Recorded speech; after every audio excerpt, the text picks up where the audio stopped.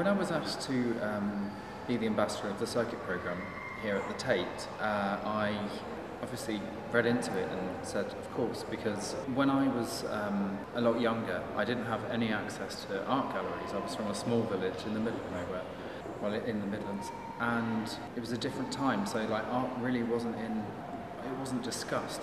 It actually gives younger people uh, opportunities and platforms to see art, and I think that's the most amazing thing because if I didn't start to discover art galleries, I probably wouldn't be or do what I am right now. You know, so it's kind of um, I think it's so important to be educated in art and culture, and society really doesn't um, it doesn't throw it at you. You've got to go and find it. So um, learning through art and culture and about how other people have lived learning lessons and learning ideas um, kind of shaped the way of me thinking how I wanted to present myself and exist. The idea of living as art, I think, came from uh, Queen Elizabeth um, the first, and she decided, apparently, to dress in a particular way where people would associate her with being otherworldly, being a different type of being.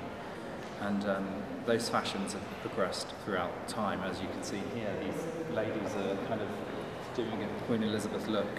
I think this was just after she died, so um, the fashions had moved on from her and become kind of mainstream in our aristocracy. That's what I gather.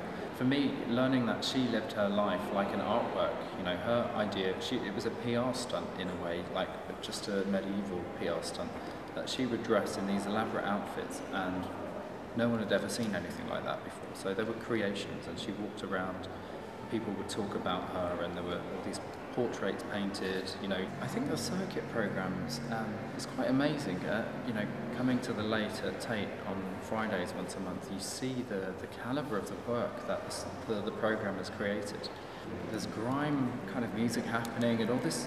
All these great cultural movements from today, but they all relate back to these paintings. So um, you know, an idea can turn into a million things, and it can turn into like a whole event. So, one's, one person's concept of a painting can turn into a whole event for thousands of people.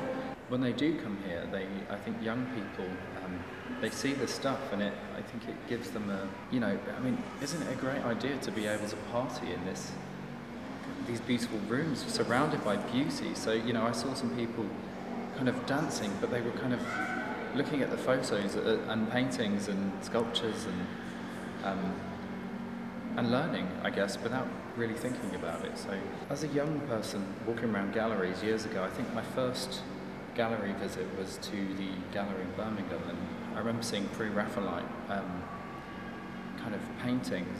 I was thinking, I want to look like that. I kind of do look like that underneath it.